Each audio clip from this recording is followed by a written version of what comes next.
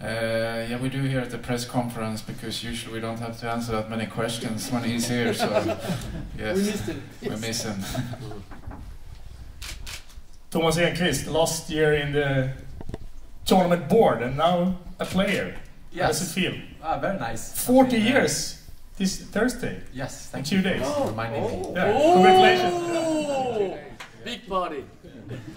That's the test. But you won't play on your birthday. Uh, no, I don't play on Thursday actually. But uh, no, I've been uh, part of the event um, for the administration side for, for two years. So I'm, I'm happy to be able to play. I have to be honest to say that in the evenings when I've been watching these guys playing, I've been very eager to be able to get out on the court as well. So I was happy to have the opportunity this year. But you will play on Friday as a 40 year 40 years old. Uh, well, I will definitely play on Saturday when we have the tennis day. But I'm in a very tough group here with both Carlos and uh, Marcelo here, so I have to I have to play really well. Yeah, we have one group with uh, you can call it sub 40. Carlos Moya is the youngster. Yeah. Only 37.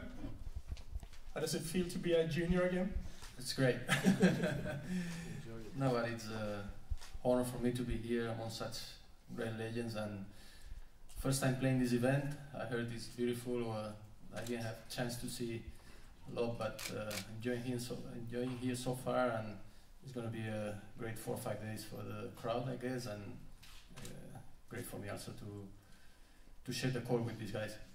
You retired in professional tennis like three and a half years ago. 2010. Yeah. What has happened since then? What? What? What has happened with, with your tennis? Have you improved it or?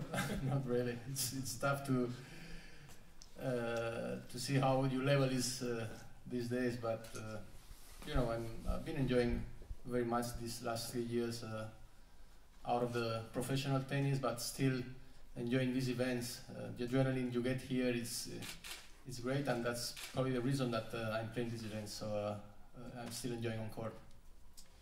And uh, Marcelo Rios, 38 years only. Yeah. Uh, you, you will meet uh, Carlos and uh, Thomas in the group stages. Uh, tell us about your expectations.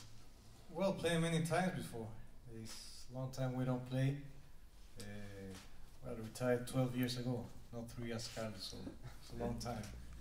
But actually, it's, just, it's nice to come after a long time. I came here maybe 15 years ago to play the tournament, and I'm excited to play to play to play Thomas, to play Carlos, and everybody. And, and it's, it's nice after a while. Having played for three years and come back and play, it's, it's, it's pretty fun. And uh, Mr. LeConte, you played against uh, Wilander in Stockholm. Who? This guy Ah, in the blue yes. shirt. Yes. Uh, back in '82, you, you won, you won your uh, your first title here.